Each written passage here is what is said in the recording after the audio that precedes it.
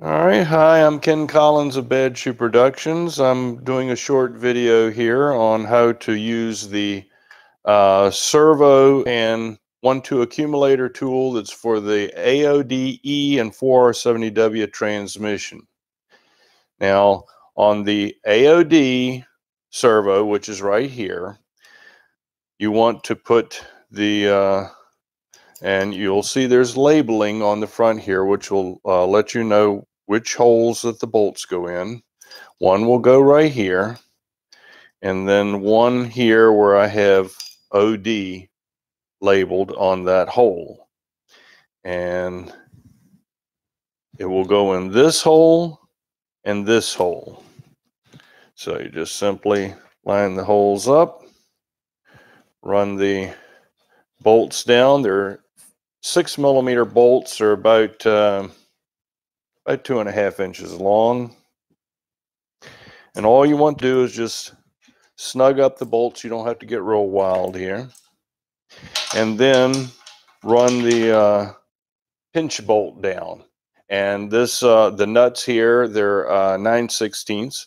And you just run it down, hits the top of the pin on the servo. You want to run it down just enough to relieve the tension on the snap ring. Go in here with some snap ring pliers and release the snap ring. You know, take your pinch bolt back out, and then the servo will be able to come out of the transmission. Now, you have to understand if the transmission is assembled just like this one is, when you take that servo servo off, the um, band will slide over, and the lug will miss that hole. So, in other words, if you went to put another servo in, the servo pin will not hit the lug on the band. Therefore, you would have to go in through this little hole right here. You may have to use a couple long screwdrivers and walk the band over until you see the lug through the hole that you know where the servo pin goes. Then you'll have to hold the band in that position, kind of wedge it in there with a the screwdriver. Then you know put your um, spring in and the servo. And in this case, there's actually a um, sleeve that goes around the servo and then run your servo down. And now um, that is a little bit of a challenge. You may actually have to have some help. And of course, normally when you're using this tool, you're using it just to remove. And when you're going back on with it, you're doing an overhaul. You probably have the pump off. And of course, you could, you know, engage the band fine, you know, from the front side there. So, you know, that's what needs to be done there. For your reverse low or low reverse servo,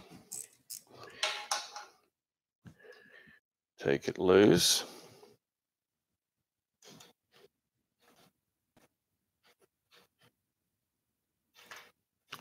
Use the same front bolt there, but the rear one, we're going to change positions. We're going to go into this hole right here. And we'll use this screw hole and this screw hole. So just like with the overdrive, you know, run your bolts down.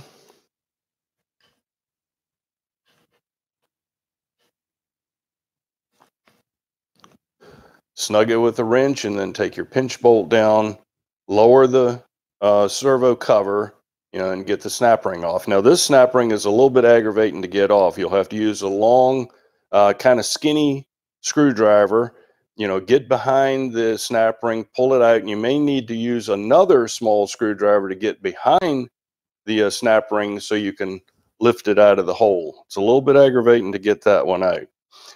Now, this servo, however, you won't have the problem with the band. When you take the servo out, put your new servo in, it will index the lug because this band is kind of captured in this area. It's also a rigid type band, so therefore the lug will always be over the hole. You won't have that problem. Also, when you're going down with the servo cover, it's going to walk around. So you're going to have to keep the cover located, you know, in the center as you run the pinch bolt down. Otherwise, the seal on that cover might get hung up in the snap ring groove. So you get it, you know, centered up, lower it down, get the cover below the, the snap ring groove, and then you can, of course, install the snap ring.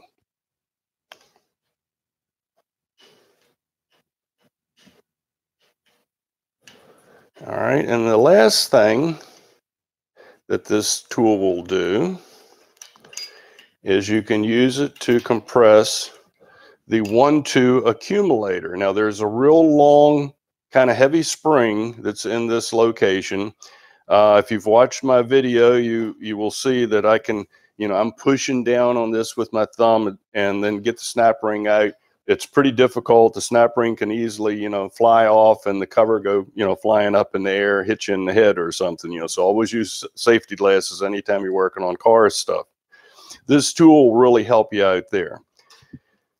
To use the tool on the 1-2 accumulator, you use this back hole here and this one in this location. Now you'll see the, the bolt will be, you know, open here, so it'll be unsupported.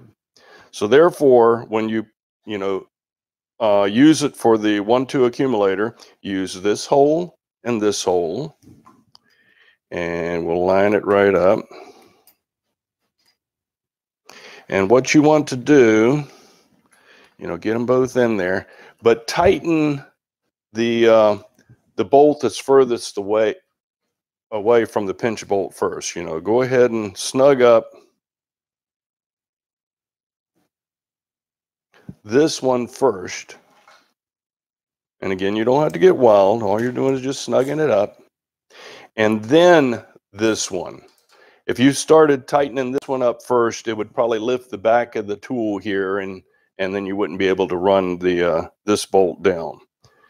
And of course, just like with the other ones, you uh, take your pinch bolt, run it down, and you you go down enough where that cover lowers, gets the uh, tension off the snap ring, and remove the snap ring. And of course, when you're going back together with it, you know, you, you put your accumulator in there. There's usually a spring that'll be on the bottom. Then you'll have an accumulator, and then you'll have a, a much longer spring typically on this uh, this top side, or it's actually the bottom side. You know, the transmission's upside down.